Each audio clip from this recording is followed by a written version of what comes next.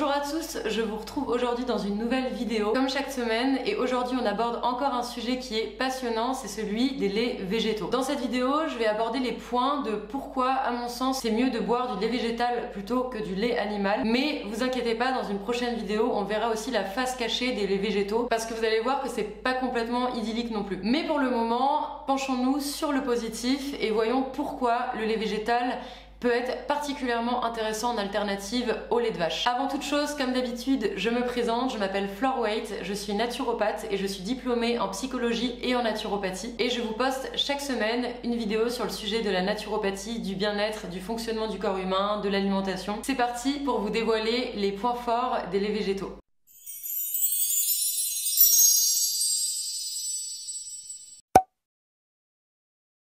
Le terme commun lait végétal, mais depuis quelques années, euh, les industriels et les fabricants n'ont plus du tout le droit d'utiliser le lait végétal et doivent dire boisson végétale. Pourquoi? Bah Parce que tout simplement, le lait végétal, ce n'est pas du lait. Bravo Sherlock. En fait, les laits végétaux, ils peuvent tout à fait euh, remplacer le lait pour euh, les fonctions du lait, c'est-à-dire dans un gâteau, dans des céréales, pour faire un chocolat chaud, etc. Mais au niveau des valeurs nutritionnelles, le, les laits végétaux et le lait animal, ce n'est pas du tout la même chose. Alors oui, nutritionnellement parlant, euh, le lait de vache est plus intéressant que le lait végétal parce qu'il contient euh, des acides aminés essentiels, des protéines animales euh, bien assimilables, des vitamines comme la vitamine B12 et la vitamine D, du calcium, etc. Mais dans le lait végétal, on va aussi trouver des choses intéressantes parce que les laits végétaux vont être enrichis en oligo-éléments, en vitamines et en acides gras insaturés. Malheureusement, les bonnes protéines, la vitamine D et le potassium vont manquer à l'appel dans le lait végétal, mais finalement c'est pas tant un problème s'il est apporté par d'autres aliments que vous consommez. Du côté des calciums, il y a certains laits végétaux qui sont enrichis en calcium et sachez du coup que si vous prenez ce type de lait végétal, ils contiendront la même teneur en calcium que le lait de vache, c'est-à-dire environ 125 mg pour 100 ml. Alors certes, ce calcium sera nettement moins bio disponible euh, dans le lait végétal que le lait de vache, mais il a le mérite d'exister et présente tout de même un avantage non négligeable quand on décide de prendre du lait végétal en alternative au lait animal.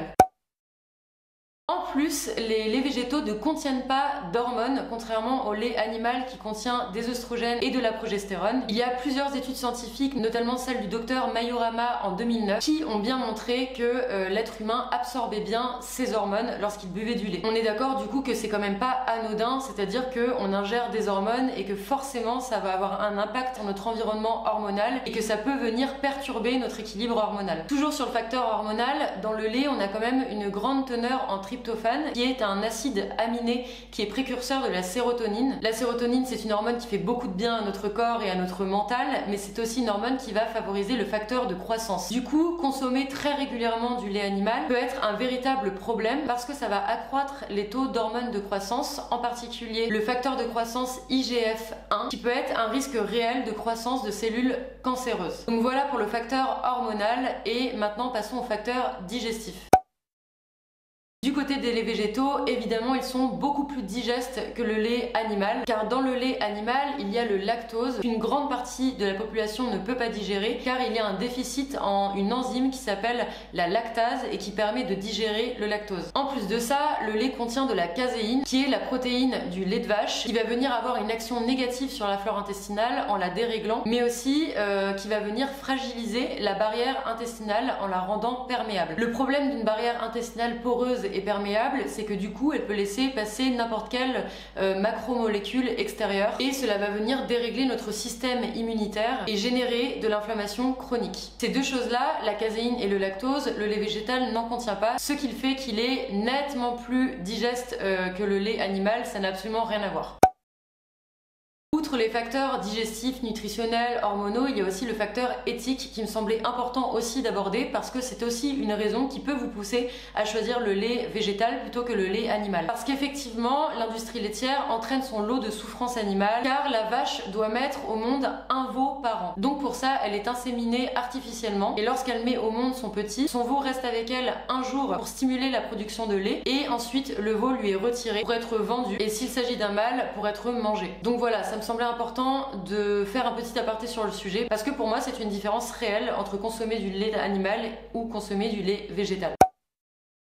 Ensuite, le fameux facteur inflammatoire dont je vous ai déjà parlé dans plusieurs vidéos. La plupart des laits végétaux ne sont pas inflammatoires. Je dis bien la plupart, car ceux qui contiennent beaucoup de sucre ajouté ainsi que le lait de riz ont des index glycémiques qui sont assez élevés par rapport à d'autres comme le lait de soja non sucré ou le lait d'amande non sucré. Du coup, ça peut créer de l'hyperglycémie qui va, par une réaction euh, en cascade dans l'organisme, créer de l'inflammation. Au contraire du lait animal qui contient 20 à 25% d'acide palmitique, dont je vous ai déjà parlé dans ma vidéo sur l'alimentation anti-inflammatoire. L'acide palmitique, c'est un acide gras saturé qui est particulièrement inflammatoire et que l'on trouve dans l'huile de palme, dans le beurre ghee, dans le beurre de cacao. Et ça, par rapport à d'autres acides gras saturés comme l'acide myritique ou l'acide laurique qui sont euh, quand même beaucoup moins inflammatoires et plutôt neutres. Donc cet acide palmitique, il est à hauteur de 20 à 25% dans toutes les graisses animales, dont le gras du lait. Et le lait peut aussi être inflammatoire si on est hypersensible à la caséine, donc la protéine laitière dont je vous parlais, ou si on est intolérant au lactose. Ces deux choses vont induire de l'inflammation parce que d'un côté, on a l'hypersensibilité à la caséine qui va provoquer l'excitation du système immunitaire par les anticorps que le corps produit, et de l'autre côté, la déficience en lactase qui va provoquer une digestion euh, catastrophique du lactose et par effet boule de neige provoquer de l'inflammation. Les graisses du lait contiennent aussi beaucoup de polluants persistants, euh, de perturbateurs endocriniens et j'en passe, parce que ces produits viennent se fixer dans les cellules adipeuses et donc peuvent être des vecteurs d'inflammation lorsque l'on consomme régulièrement du lait. Au niveau de la perte de poids, comparé au lait animal, les laits végétaux sont beaucoup moins caloriques. Ils ne contiennent pas de cholestérol et ils contiennent également beaucoup moins de graisse. Du coup, tout ça, ça peut être intéressant en termes de poids, du coup de remplacer le lait animal par du lait végétal. Mais attention, pas tous les laits végétaux, des laits végétaux qui n'ont pas un index glycémique élevé, c'est-à-dire les laits végétaux sans sucre, et tous les laits végétaux sauf le riz et un petit peu l'avoine. On va préférer des laits végétaux avec index glycémique bas comme le lait euh, d'amande, euh, le lait de soja, le lait de noisette.